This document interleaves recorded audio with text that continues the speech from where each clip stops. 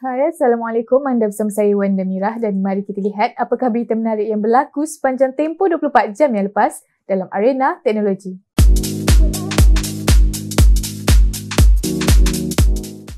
Adobe mengumumkan penawaran baru iaitu Photoshop Camera. Aplikasi ini membawakan fungsi kamera pintar yang dikuasakan oleh kecerdasan buatan iaitu Adobe Sensei. Buat masa ini, aplikasi ini masih belum terdapat pada Google Play Store dan App Store. Namun, pengguna boleh mencuba aplikasi ini dan mendaftar untuk mendapatkan akses awal.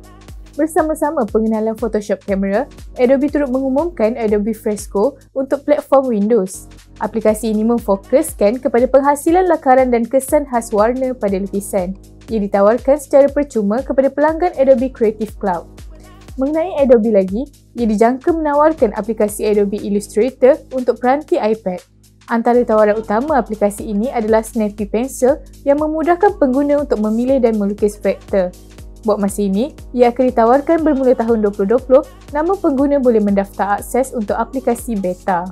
Selain itu, Adobe turut menawarkan aplikasi Adobe Photoshop untuk iPad di App Store.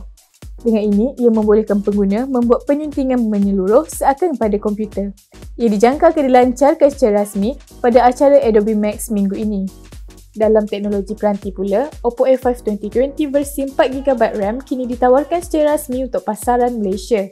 Ia membawakan skrin 6.5 inci, chip Snapdragon 655 selain menggunakan 4 kamera belakang gabungan 12, 8, 2 dan 2 megapiksel.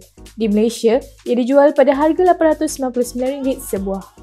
Akhir sekali, Perkhidmatan dompet digital Vcash yang ditawarkan Digi akan ditamatkan operasi pada 30 November kelak.